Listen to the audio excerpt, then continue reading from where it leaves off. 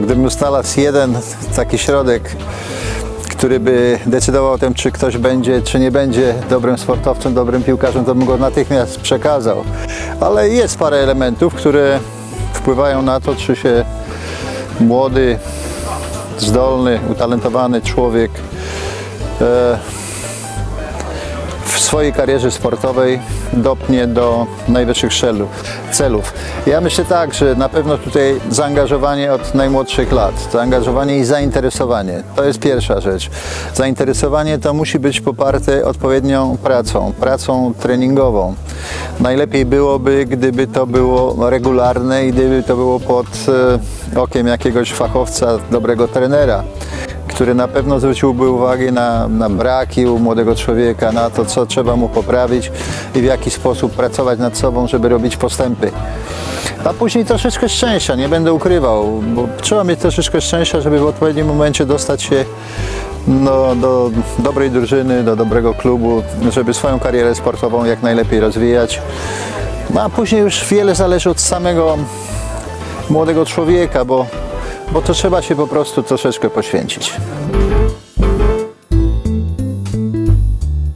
Praca nad sobą to jest na pewno rzecz, która jest bezwzględna w tym, czy, czy się będzie dobrym czy złym sportowcem. Znaleźć czas na to. Czas jest bardzo ważną rzeczą w tym momencie i, i ja może podam taki przykład ze swojej kariery sportowej, kiedy bawiłem się piłką godzinami na podwórku Obijałem piłkę o mur, lewa, prawa noga, gra głową, zabawa głową, a trwało to nie 15-20 minut, tylko trwało to od 3 do 5 godzin. Więc znalezienie czasu na to, żeby pracować nad, nad techniką piłkarską i żeby mieć z tego przyjemność również, bo ja osobiście miałem z takich zabaw przyjemność. Jak młody człowiek chce dzisiaj odnosić karierę sportową i być rzeczywiście w przyszłości takim zawodnikiem na arenie międzynarodowej, no to trzeba właśnie to robić i znaleźć na to czas. Jeżeli z pasji i z zainteresowania które się ma. Można zrobić zawód, a do tego ja doprowadziłem w swoim, swojej karierze sportowej, w swoim życiu. To jest to bardzo fajny, dobry kierunek. Jeżeli chodzi o stronę finansową, to tutaj wiele zależy od tego, czy rzeczywiście się dopnie człowiek do tego najwyższego szczebla kariery sportowej i czy się będzie grało w najlepszych klubach europejskich, światowych, bo tam rzeczywiście można zarobić bardzo, bardzo duże, dobre pieniądze.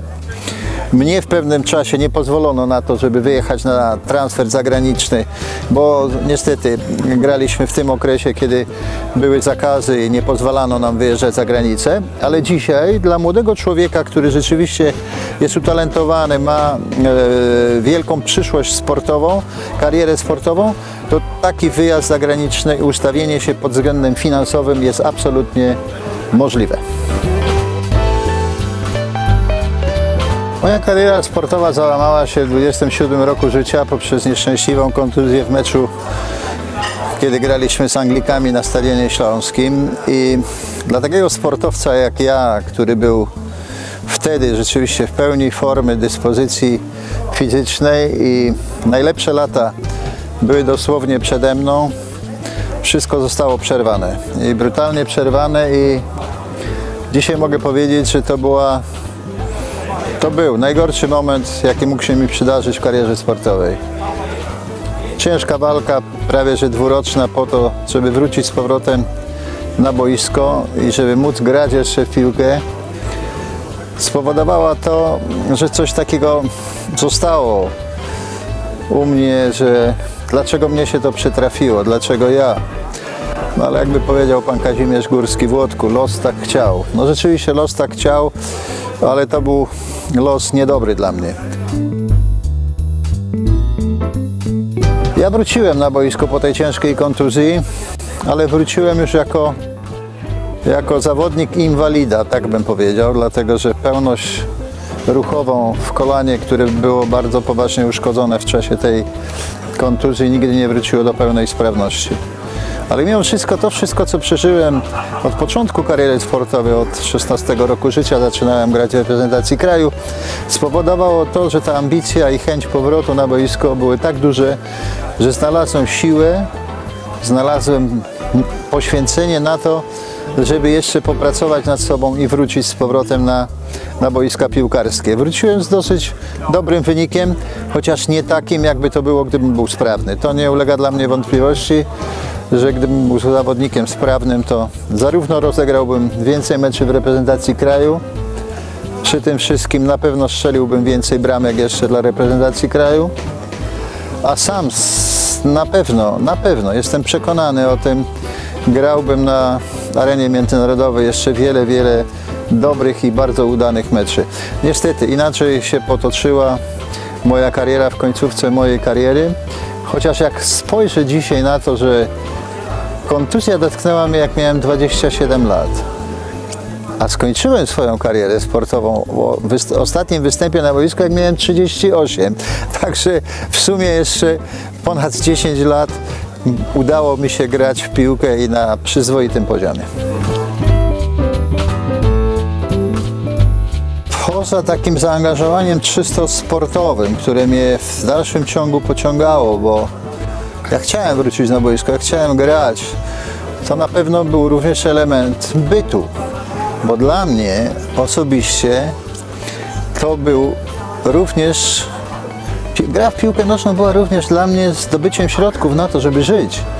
Ja z tego, z tego żyłem, ja otrzymywałem premie, ja otrzymywałem wynagrodzenia, więc to była, to była poza pasją również takie, taka rzecz przemyślana, która powodowała to, że muszę grać i muszę po prostu zrobić wszystko, żeby w dalszym ciągu kontynuować karierę, żeby ja i moja rodzina mogła żyć na odpowiednim poziomie. No i dlatego trwało to wszystko tak długo, bo do 38 roku życia na boisku biegałem i strzelałem bramki. A później zostałem w środowisku sportowym, bo ze swoim doświadczeniem miałem dużo do powiedzenia jeszcze jako, jako trener, jako doradca, jako menadżer i to sprawiało mi dużą przyjemność. Nie ma takiej. Nie ma takiej, bo wszystkie bramki, które strzelałem, były piękne tej najpiękniejszej nie ma. Bo dla zawodnika, wydaje mi się takiego jak ja, napastnika, który cieszył się każdą bramką, nie ma wyróżniających się bramek. Były może bramki ważniejsze, mniej ważne ze względu na poziom spotkań, na przykład mecze ligowe, czy mecze Pucharu Europy, czy mecze w reprezentacji kraju. Ale wszystkie bramki, które strzelałem były piękne i, i, i nie będę tutaj żadnej wyróżniał. Był taki okres, że pasjonowałem się sztuką, kulturą, malarstwem polskim bardzo aktywnie e, w latach e, 90., w roku 2000 interesowałem się malarstwem, zresztą zbierałem, e, miałem kilka bardzo ładnych pozycji w swojej kolekcji. Chodziłem po muzeach, chodziłem po różnych galeriach i to była wielka pasja, którą przez lata, lata wspólnie z małżonką dzieliłem. I, i, i to była fajna pasja, bo to, bo to było podziwianie czegoś, co było piękne, co było ładne, co było wyjątkowe w niektórych momentach, bo rzeczywiście e, potrafiłem przed obrazem na przykład przez kilka dobrych minut stać, przyglądać się i przypatrywać się, jak to wszystko powstawało, a kolejną pasją moją w późniejszym okresie, wtedy kiedy już zakończyłem karierę sportową, było zainteresowanie winami. A związało się to z tym, że ja w końcówce kariery grałem we Francji. Tam moi przyjaciele namówili mnie do tego, żeby od czasu do czasu pójść skosztować lampkę dobrego wina i z tego zrodziła się kolejna pasja. Zacząłem się interesować, czytać książki, a to co najważniejsze w tej, w tej pasji było to, że trzeba było próbować. I to próbować te wina takie rzeczywiście dobrej marki. No i nazbierałem tego po drodze. Dzisiaj mogę się poszczycić takimi lodówkami dwoma, w których jest około 500 butelek wina i to takiego wina dobrego gatunku. A wina selekcjonowałem na podstawie raz e, książek, które czytałem i opinii wielkich fachowców, którzy mi podpowiadali, jakie wino z którego rocznika jest najlepsze, a z drugiej strony po prostu próbowaniem.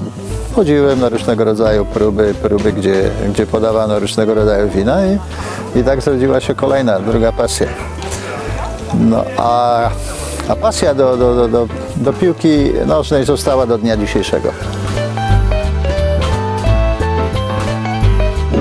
Że z uśmiechem wiążą się u mnie na przykład wielkie radosne chwile, no, bo po zdobytych bramek, bramkach się cieszyłem, uśmiechałem się, starałem się, starałem się być wesoły. W wielu wywiadach też się uśmiechałem i e, cieszyłem się z tego, e, co robiłem. Nie, nie, to jest, to, jest, to jest rzecz, która jest oczywiście rzeczą indywidualną. Jeden uśmiecha się z byle czego, inny, żeby się uśmiechnąć, potrzebuje dobrego kawału, prawda?